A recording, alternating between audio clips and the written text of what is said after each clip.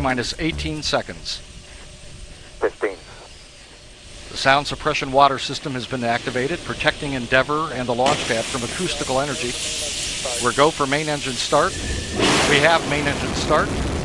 Four, three, two, one. Booster ignition and liftoff of Endeavour.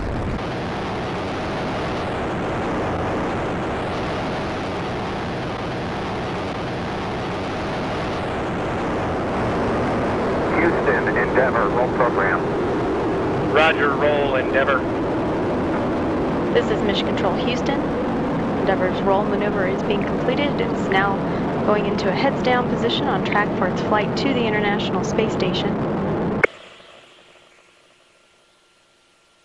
Beautiful.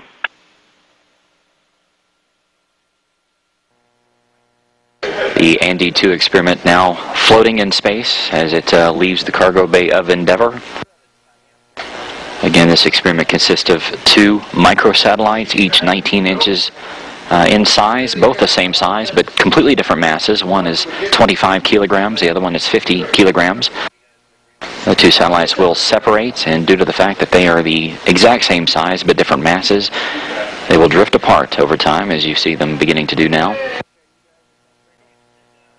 Scientists and researchers on the ground will continue to watch the two spheres as they drift apart and uh, re-enter at different times, trying to learn more about how different objects with different masses in space behave as they orbit the Earth.